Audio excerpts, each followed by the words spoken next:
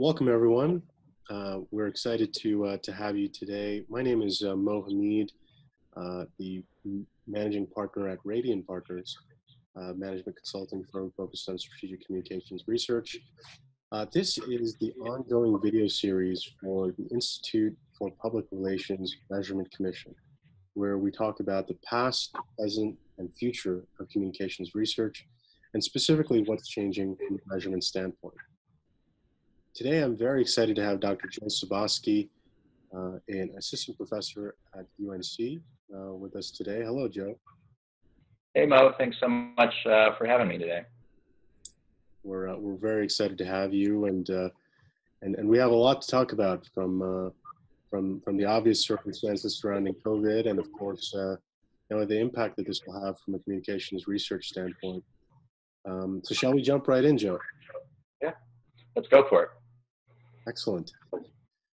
I think we should start, Joe, by talking a little bit about your your background because um, it's a it's a particularly interesting one, and, and, I think a lot of folks at the institute um, have uh, have just been very intrigued about the, uh, the sort of diversity of, of, thinking that you bring. So so let's start there.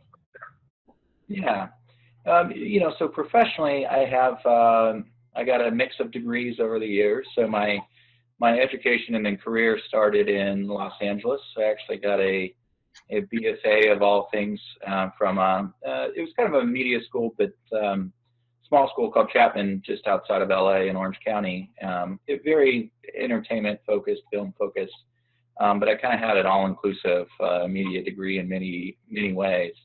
Um, and then so I started in development uh, in the entertainment industry. Um, folks on the West Coast know that development can mean many things and nothing all at the same time, depending on on where you're working at and what you're doing. Um, but for me, it was great because it it got me involved in everything from understanding, uh, you know, product development, creative development, um, definitely more on the on the creative side. Um, I got more into PR uh, in that position from very LA kind of things like um, you know, Hollywood fundraisers to uh, red carpet events, you know, especially on the event and creative planning side. Um, there's also just a lot of internal relations, internal man- management on a lot of those projects. Um, and I and I got really interested in research even even when I was in more of those creative roles uh, because of you know things like box office analysis and uh, not just uh, you know things things on the financial side in terms of internal budgeting, but then also audience development in particular. And uh, you know, I was there at a time when the industry was really um, uh, changing a little bit to include more and more diverse audiences where things could be more at a, a niche or micro level. And I always remember being, uh, you know, kind of interested in that space at that time. Um, the, the summary from there is uh, I left during there was a huge writer strike. I'm dating myself now, but uh, in LA that that generally shuts down everything, uh, and that's a good time. Uh, I remember my boss at the time told me, uh, "Now is the time to go and get, you know, that grad degree that gets you where you want." So think about the people that have the jobs that you want, you know, and go and and follow their path a little bit. And they all either had uh, MBAs or JDs. Um, uh, on the way to uh, eventually, I went to law school, and we can talk about that. Um, on the way there, I uh, I worked at a boutique uh, for a while while the industry was kind of shut down. I moved to uh, Dallas with a boutique PR and ad agency. Um, uh, then worked on a presidential campaign at the time, doing a lot of community relations work, which was definitely a new, um, kind of a new landscape that just was perfect for that temporary time between leaving LA and law school. And uh, so then I got a law degree uh, at Michigan State, and then I kept moving east and south from there. Um, there was a fellowship opportunity to get a doctorate here at the School of Media uh, and Journalism at the time uh, at UNC Chapel Hill. Uh, and so since getting a doctorate here as a, a fellow years ago, um, I've been here, oh, I guess about just wrapped up my fifth year as an assistant professor uh, at the university uh, within the public relations track. Wow. What, what a journey you've had, Joe. And, uh, and, and, certainly we're, we're very excited to have you as uh, one of the newest members of uh, IPR's Measurement Commission. Uh, so as part of that, Joe will be contributing to the, the huge body of knowledge that we're building at IPR around essentially what we call the, the science beneath the art of, of, public relations. So we're very excited to have you in that capacity, Joe. So I'm sure many, many folks that are listening are wondering, how does, you know, being a sort of a JD turned, you know, prof in, in communications, you know, what's that journey like? And, and, you know, did that journey sort of result in you focusing on specific research topics? Maybe you can talk a little bit about your areas of interest and, and how that's evolved over time. Yeah, so, you know, in a nutshell, I, I view a JD as um, a strategy degree. Um, and I think a lot of people in public relations naturally find a blend with a, a JD.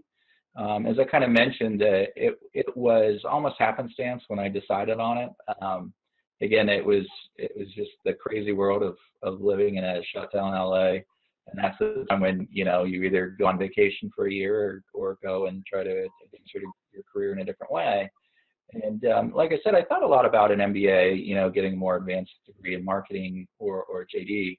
I guess I was just more curious about a JD. Um, there were a lot of people that were in either PR or management within Los Angeles at the time that I thought Eh, they weren't practicing lawyers by day, though they were licensed attorneys. Um, and I just thought that that was more of a of an interesting path, so I just kind of went down that route. And um, Michigan State gave me a generous offer, and it kind of just went from there. Um, and I and I never really thought that I would use it in in the fully, you know, as a fully practicing attorney. Um, but I remembered, uh, you know, early on in in my first semester, even in, in law school, way back when, just thinking these are the same these are the same rules and principles of public relations you know it's about understanding the research in in law that's that's knowing everything you know literally it's malpractice if you don't um, but then the rest is is storytelling coupled with knowing your audience and i remember being just fascinated with you know you read casebook after casebook the law is always theoretically the same and they'll always ask you, okay, here was this case in this year in this town, here was this case in this year in this town. They came out very differently. Why is that? And you think to yourself, the lawyers, you know, the two lawyers that were involved, or the judge that's involved, or if there's a jury that's involved, um, and the way that those stories are communicated, or those relationships that are built, or even just something that's as simple as the understanding of a town, you know, where that where that trial was held. And so my career to me, I've I've kind of back ended into research in terms of I started, like I said, on the BFA side, on the creative side.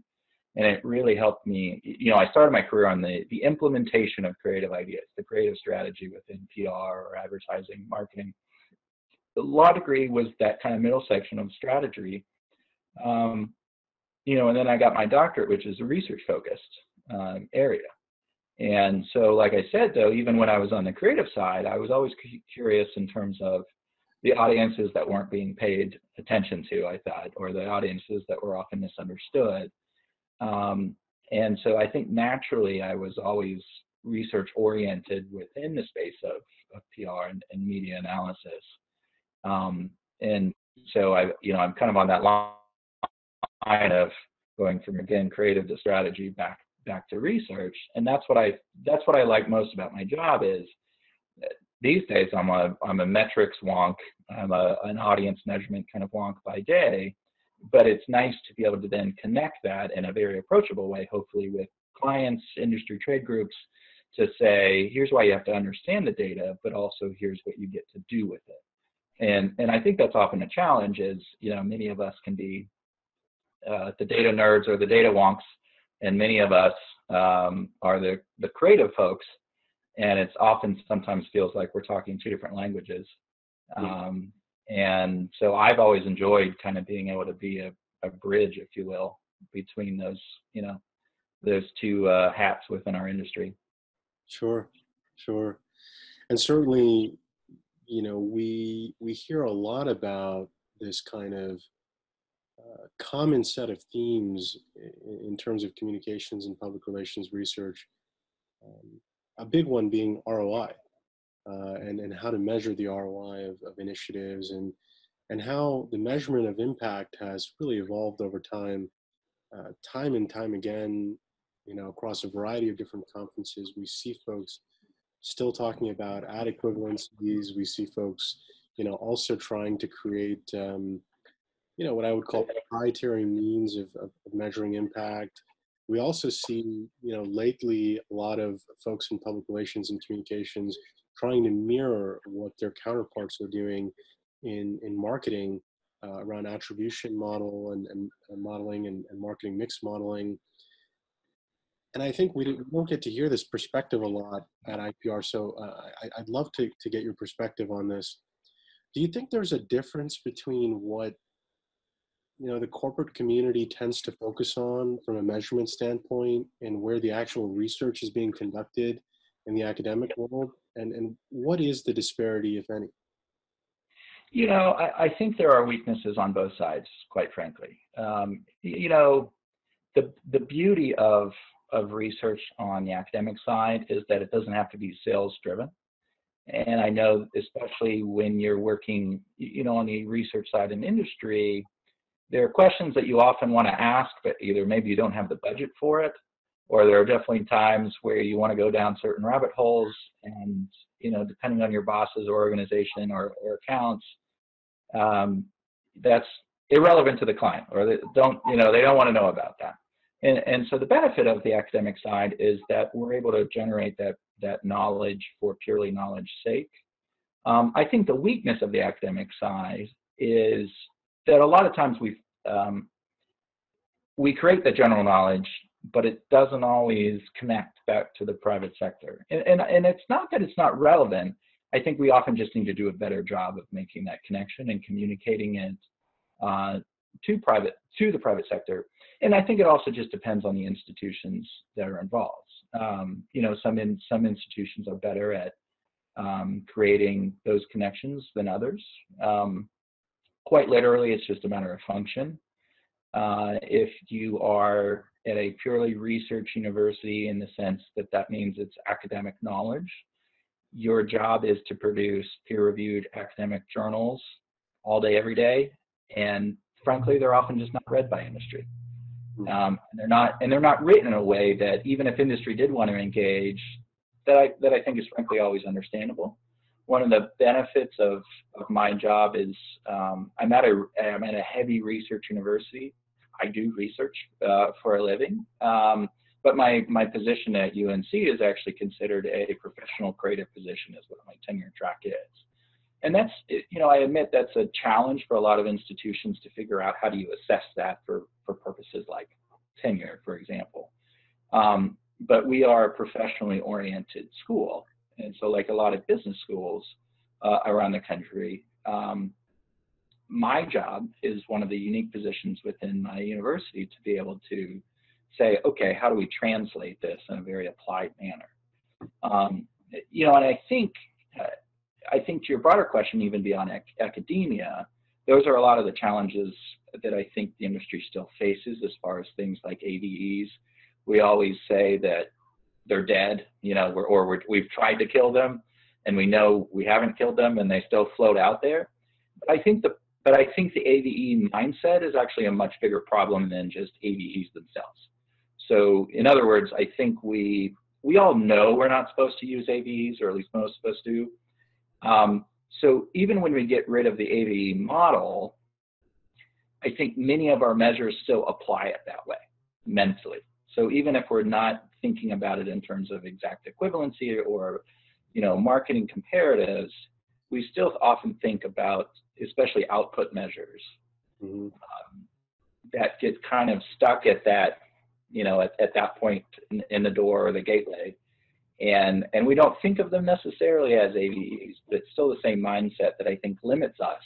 That's disconnecting still, um, you know, our output measures versus our, our ROI or, or certainly impact measures, which is, I think, what we're all trying to work on uh, of not only justifying what we do, but then also just showing the, the very real impacts of, of what it means for clients in very different ways depending on the context.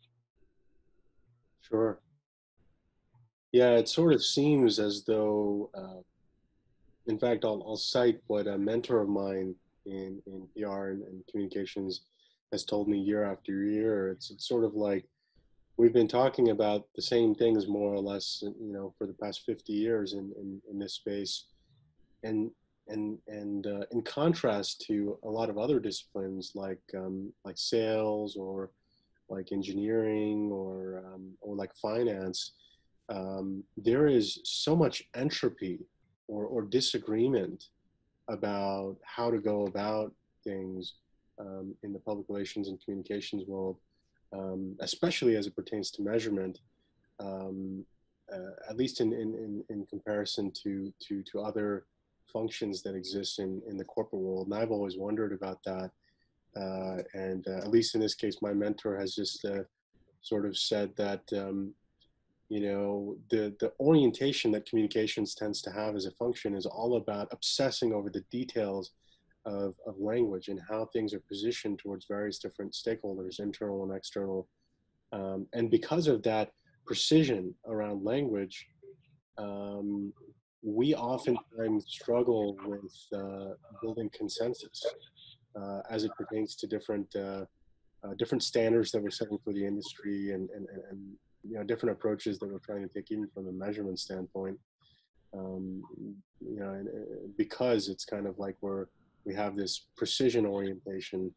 Um, so it's interesting to get your perspective on, you know, how the the focus in the academic world compares to that of of the corporate world. So, so thanks for that, Joe. So I, I want to talk a little bit about the elephant in the room, which of course is is, is COVID-19. I would love to get your perspective on on things, uh, both from a global standpoint and from a domestic standpoint.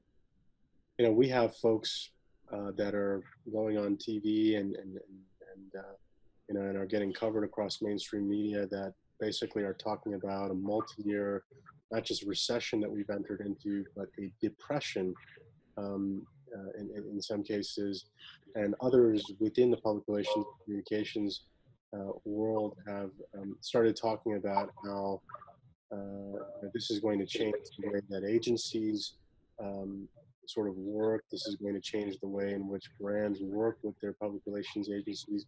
And some have even started to talk about how uh, COVID 19 will usher in a new era of communications around pandemics or sort of pandemic communications, uh, which has never really been focused before. So, what's your take on, on where we are? Are you, are you optimistic or, or, or pessimistic um, about uh, about the situation we're facing economically, and, and what um, impact do you think this will have on uh, on the function of public relations? You know, I I'm always an optimist. People that know me well know I'm always the the optimist in the room. Um, on the economy, that doesn't mean so. Even pre-COVID, I would say that I was getting pretty bearish on the economy. Um, just we were at the longest, you know, bull market of of any modern day uh, going into the new year as it was um, and we were already having these questions about the natural slowdown, uh, and we already saw it in the European markets um, uh, as it was. And then, you know, COVID came along and pretty much shut down the world. And in a global economy, of course, we've seen the impacts of that. Um, I guess I'm optimistic in the domestic market, um, and I and you've seen the cuts in, in PR and marketing more broadly uh, for a lot of corporations. We've seen this in downturns uh, for decades. Um, I think we've always found that it's misguided, but companies do it anyway. Um, it, you know, the companies that kind of spend through a crisis, it's kind of like the way that governments will spend through a crisis to get you through. Um, and a lot of the companies that begin to struggle will cut their PR budgets, cut their cut their ad or marketing budgets, um, and then that often accelerates the problem um, versus figuring out a way to be a voice, you know, kind of through the downtime. Um, that said, you know, I'm I, I, guess I'm hopeful of the overall economy um, bouncing back over the next few years. Uh, but then again, I think there's a clear reality that you know, certain sectors will change forever, and some jobs will definitely not uh, come back. Uh, I do think some of the biggest challenges within PR, and this I think relates to some of our challenges in measurement, is is naturally the field really started to come as a profession, as a degree, as a major, uh, you know, in a lot of places, not till the 80s even. But you know, from the 70s and 80s, we often developed as a career, and it was it was you know a, a function of a lot of former journalists becoming PR pros, and then we saw that continue to grow into more modern PR of the 80s and the 90s. Um, and then we became into this digital realm, right, in the 2000s and, thir- and certainly 2010s. And, and we you know, I, I, I, was optimistic about where PR measurement was 10 years ago in many ways. I thought we had come a long way.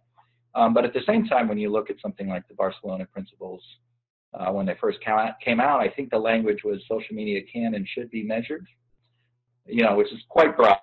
With, you know, it's, it's like, thanks, you know, so how, what do we do with that?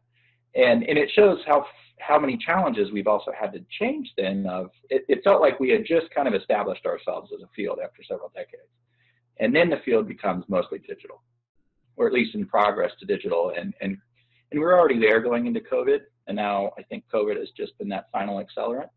Um, but what that means, I think, back to the economy question is, I think there's potential to have continued growth as was projected in PR in particular over the next decade. If if anything, I think it's more important than ever. But what we also saw was the even before COVID, on the media relations side of public relations. Which I think has always gotten our, the brunt of our attention. Um, it's what a lot of folks outside of PR think are is what we do and only what we do. And I think sometimes even within PR, uh, you know, a lot of a lot of journalists just assume we are still just press release people for a living, um, even even though that's a small bucket of it.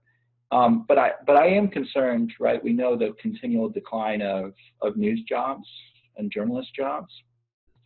At the same time, of we still project, even with COVID, and, and I, it's definitely disrupted things, but we still project a pretty substantial growth in public relations, corporate communications type positions domestically and globally over the next decade. And I think that emphasizes how the profession is changing a lot um, and and people will have to retrain even within the same profession. But then you know that that probably segues to some of our our other discussion topics today as far as well then what does that mean for measurement as we become less news media related focus at least on a percentage basis of our jobs. Absolutely, absolutely, and and to that point, Joe. Uh, you know, I think one of, one of the aspects that many public relations practitioners are are trying to wrap their heads around is is how you know this this this current environment will change things from a measurement standpoint. I'll give you a very specific example. There are you know in-house public relations practitioners and agency practitioners that are trying to grapple with the percentage of coverage around brands being dominated by COVID. Um, and of course, you know, if you think about that, just in terms of a percentage of, of mentions, um, you know, that are related to the business side of a, of a particular brand or related to, you know, their involvement with, uh, you know, pandemic related efforts, et cetera, it creates a significant challenge in assessing, assessing the penetration of messages, assessing the alignment of different audiences, both internal and external. And I imagine that, you know, if you're trying to do any kinds of reputational benchmarking, this, this creates a significant challenge, um, you know, from a, from a measurement standpoint. So, you know, what, what would you say to folks that are trying to create an approach uh, for public relations measurement uh, in, in today's environment. Are there any lessons that, you know, we've learned about, about how to handle measurement, um, you know, post-COVID, uh, and, and, and what might those be? You know, I guess two or three things come to mind. The, the first is, that, as you were saying, whatever whatever kind of organization you are, you have to be able to figure out how your own metrics work when there's a lot of noise. Um, and so within that in mind, right, you everything is relative to the organization. So the half-lives of how long COVID will impact, you know, something like your reputation or be associated with your organization are going to vary greatly. there are going to be certain sectors where in that sector, you might be separated from a lot of that COVID noise by June or July. Other sectors, such as education or HR related types of public relations or entities that are working from home, or certainly healthcare or any kind of emergency services, anything like that, you could see how this kind of noise or, or major global pandemic issue is going to pretty much consume you for not just this year, but maybe the next two years, if not three years, right? And so everything first, I, I guess the point being is you have to figure out what relativity of, of your organization, or if you're working within an agency and you've got different accounts, not treating all of your accounts as the same. Even if your all of your accounts are within a certain sector, you know, realizing that all of the different entities are going to be dealing with different timelines as far as how they kind of come out of this noise. And I think that lesson is important e- even as we move beyond COVID. You know, it's also it's presidential election for those in the United States, and there's always noise and there are always difficulties and there are always non-normal uh, things. They are cyclical at every four years, but you know, if you're comparing your October metrics this year versus your October metrics last year. Even without COVID, it's going to be a different kind of environment. And so that's the thing is, you know, I'm all for benchmarks and and creating those norms, but we're all pretty much in a cycle of there are always disruption points, whether it's an election, whether it's hurricane season, depending on your clients, whether it's a pandemic, right, which is pretty much wiped out all of our norms. Um, but but thinking about it in in kind of that uh, relative way. I think the other big lesson though, from COVID, if we think about if we think about some of the flaws in the way we talk about COVID or COVID measures, a lot of those flaws to me are the same kind of flaws that we have in, in traditional PR measurements. And what I mean by that is we're often we're often distracted by the shiniest object or the easiest object, which means you know you've seen a, an incredible focus on the number of people with COVID. Mm-hmm. But we, but we know, and to me, that's almost like our obsession with impressions. Or um, I'm working on a piece right now, just being in the in the southeast. We've already had two tropical systems, and the system hasn't even the season hasn't even started yet. And you know, so it's it, to me that that top line of COVID is kind of like our obsession with wind speed in a hurricane. But in down east North Carolina, where I live, some of our worst hurricanes have been Category One hurricanes, mm-hmm. but they've had torrential rains. They've destroyed areas for weeks and weeks and weeks, and they don't get any coverage for it. And you know, so going back to COVID, again, the problem with that overall metric is, uh, you know, up until this day, what are we at? About two to three percent of the country that's been tested, and and so we're still trying to give an overall assessment based on really only knowing 3% of our audience. That would seem silly in a PR measurement world. Um, you know, and, and we get more and more cases, but that's also just because we're doing more and more testing. But then again, if you think about that lesson in terms of all of PR measurement, you know, I think we need to continue to ask ourselves, are our top line measures that try to treat everything in the macro, which is what a lot of clients are obsessed with because we've also trained them to be obsessed with them, I think. Um, is that really the story? Or is the story all of the underlying metrics, uh, you know, that give a lot more depth and nuance to what's really going on, as well as the consideration, are you even talking about either the full audience or the right audience? And that's why even though, you know, all of these COVID measures aren't aren't public relations related directly, you know, unless you're in the pandemic space or, or healthcare space, the lessons to me are, are the exact same and they continue to be some of the problems that we have uh, within public relations metrics more generally, where especially I think we focus way too much on uh, at that macro level. Absolutely. Thanks for sharing that perspective, Joe. I think to wrap, one of the things that that uh, that we've gotten as a question uh, over and over again in this series is is just about the unknowns, uh, or I should say specifically the uh, you know what we think are the, the the the, known knowns or the unknown unknowns in this case um, as it pertains to public relations uh, you know day-to-day activity. I mean, is there something from strategy standpoint, something from a um, day-to-day operations standpoint, something from a measurement standpoint that the public relations function or public relations research or measurement is just completely not thinking about that um, that we need to be thinking about as it pertains to the current environment. Um, what would your perspective be on that, Joe? You know, there again, I, there are probably two or three things that stand out to me. The, the least in control are global factors that will just always impact us, whether it's a pandemic like this, um, but also, you know, I think we're at a we're we're recording this on a day where there was conflict between the White House and and China uh, on growing tensions, and those global factors, I I think we always have to be prepared for about just what that means for commerce or or media or entities, but but the two that really stand out even you know regardless of of covid that i think we we're already entering into as a decade and if anything i think covid is accelerating. The first being just think about the year that we've gone through in terms of the the transformation of media and it's not just the rise of you know you're always going to have a continual rise of of tiktok is a new entity now that we definitely don't have the proper measures for from a corporate perspective so uh, platforms are always changing but think about disney plus launched this year Peacock is launching. Eh, you know, HBO Max is launching. CBS All Access is changing. Hulu is expanding.